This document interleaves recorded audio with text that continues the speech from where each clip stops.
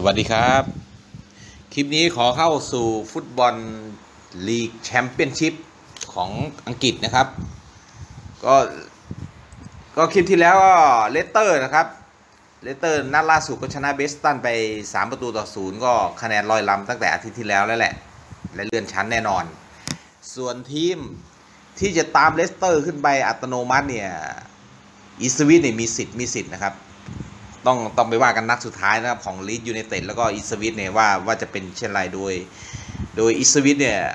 เมื่อคืนเนี่ยชนะโคเวนทรีมา 2 ประตูต่อหนึ่งนะครับ เก็บได้อีก 3 แต้มเป็น 93 แต้มนะครับอ่าขึ้นรองจ่าฝูงแล้วทีมลีดส์ลงไปละมัน 90 แต้มทีเนี้ย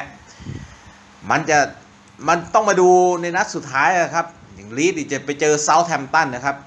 แล้วก็อิสวิตเนี่ยจะไปเจอฮัตเดอร์ฟิลด์ทาวน์นะครับ โอ้อิสวิตมีมีสิทธิ์เพราะว่าฮัตเดอร์ฟิลด์เนี่ยเป็นเป็นทีมรองรองบ๊วยเลยว่างั้นเถอะก็ถือว่า ถือว่ามีพลังงานมีโมเมนตัมที่ดีกว่านะครับอิสวิตจะไปเจอฮัตเดอร์ฟิลด์นะครับ ส่วนลีดมาเจอเซาท์แฮมป์ตันนี่ก็ไล่บี้กันไม่ได้แล้วเพราะว่านัดหน้ามันเป็นนัดสุดท้ายแล้วเนาะก็ลีดเนี่ยต้องเอาชนะเซาท์แฮมป์ตันให้ได้หลาย ๆ ลูกเลยเลยว่ากันเถอะอิสวิตขอแค่เสมอว่าอย่างนั้นเถอะ อย่าแพ้นะครับ อย่าอย่าแพ้นะครับอิสวิตเนี่ยอย่าแพ้ ส่วนลีดเนี่ยยังไงต้องเก็บสามแต้มถ้าเก็บสามแต้มไม่ได้แล้วสามถึงหกก็ไปไปเพย์ออฟกันนะครับ เพื่อหาอีกหนึ่งทีมขึ้นไปเล่นในพรีเมียร์ลีกนะฮะก็สรุปคร่าวๆนะครับ คงไม่ลงรายละเอียดเยอะ เพราะว่าเลสเตอร์นำโด่งแล้วก็เลสเตอร์เนี่ยได้ได้ขึ้นไปเล่นในลีกพรีเมียร์ลีกเป็นทีมแรกเลยนะครับ คะแนนทิ้งโด่งไป 97 คะแนนละ แข่ง 45 ชนะ 31 เสมอ 4 แพ้ 10 นะครับ มี 97 แต้มนะครับสถิติ5นัดหลังสุดนี่ชนะ 3 แพ้ 2 นะครับ โดย 3 นัดล่าสุดนี่คือเก็บได้ 9 แต้มรวดเลย ก็ก็สบายสบายเลย ส่วนอิสวิตเนี่ย ต้องไป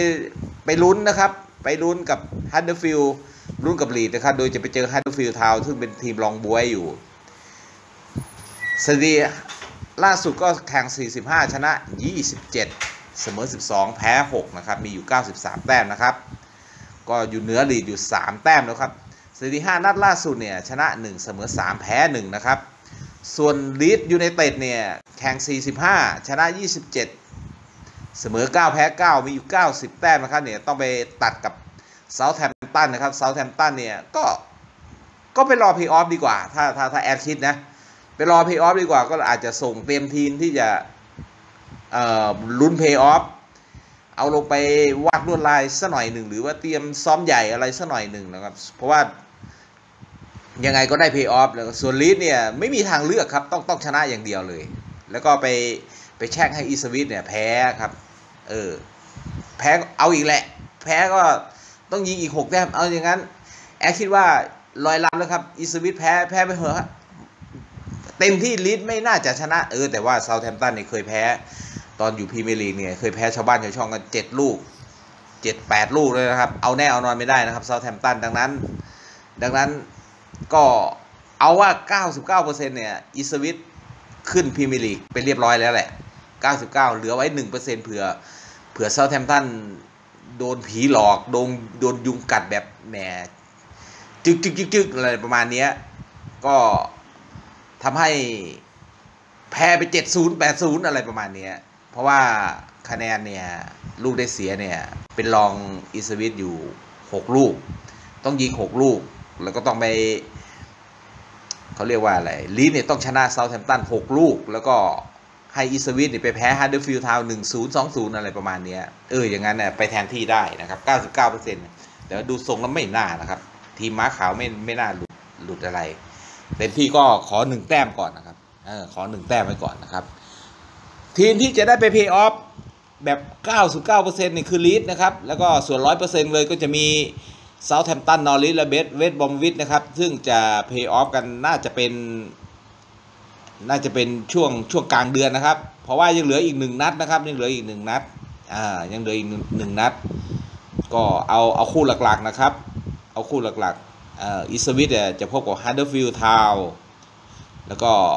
เลสเตอร์นี่ลอยลำไปแล้วพบกับแบล็กเบิร์นแล้วก็ลีดจะพบกับเซาท์แฮมป์ตันนะครับ สรุปภาพรวมก็คือสโต๊กเนี่ยจะพบกับบริสตอลซิตี้นะครับ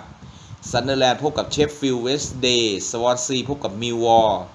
พูดถึงมิลล์วอลล์เนี่ยเคยมาวาดลวดลายที่พรีเมียร์ลีกสมัยเป็นดิวิชั่นหนึ่งนานมาแล้วแหละแอดก็ สมัยนั้นจำชื่อไม่ได้นักเตะเนี่ยแอดเข้าตาแอดอยู่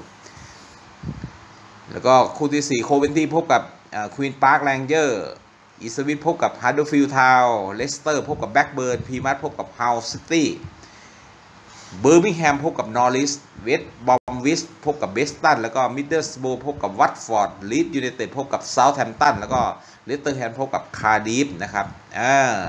ส่วนการเพย์ออฟเนี่ย จะไปว่ากันกลางเดือนเราเริ่มวันที่ 12 วันที่ 14 วันที่ 17 วันที่ 18 เดี๋ยวจะแจ้งให้ให้ทราบอีกทีหนึ่งนะครับ ว่าใครพบใครในในนัดแรกนะครับ ก็เป็นไปตามนี้นะครับอ่าสำหรับคลิปนี้เอาไว้เท่านี้ก่อนนะครับ สวัสดีครับ